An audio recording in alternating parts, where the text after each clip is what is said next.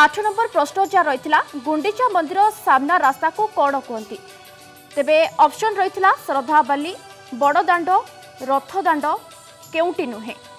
ତେବେ ୟାର ସଠିକ୍ ଉତ୍ତର ହେଉଛି ଇ ଶରଧାବାଲି ଯାହା ଚତୁର୍ଥ ନମ୍ବର ଅପସନ୍ ଯାହା ଥିଲା କେଉଁଟି ନୁହେଁ? ତେବେ ୟାରି ମଧ୍ୟରେ ଉତ୍ତର ହେଉଛି ଶରଧାବାଲି ଆଉ ଥରେ କହି ରଖୁଛୁ ପ୍ରଶ୍ନର ଉତ୍ତର ହେଉଛି ଯାହା ପ୍ରଶ୍ନ ରହିଥିଲା ଆଠ ନମ୍ବର ପ୍ରଶ୍ନ ଗୁଣ୍ଡିଚା ମନ୍ଦିର ସାମ୍ନା ରାସ୍ତାକୁ କ'ଣ କୁହନ୍ତି? ୟାର ଉତ୍ତର ହେଉଛି ଶରଦାବାଲି ଆଉ ୟାର ବିଜେତା ହେଉଛନ୍ତି ବଶିଷ୍ଠ ପ୍ରଧାନ ମନମୁଣ୍ଡା ବୌଦ୍ଧ ଆଠ ନମ୍ବର ପ୍ରଶ୍ନର ୱିନର ହେଉଛନ୍ତି ପୁଣି ଥରେ କହି ରଖୁଛୁ ବଶିଷ୍ଠ ପ୍ରଧାନ ମନମୁଣ୍ଡା ବୌଦ୍ଧ।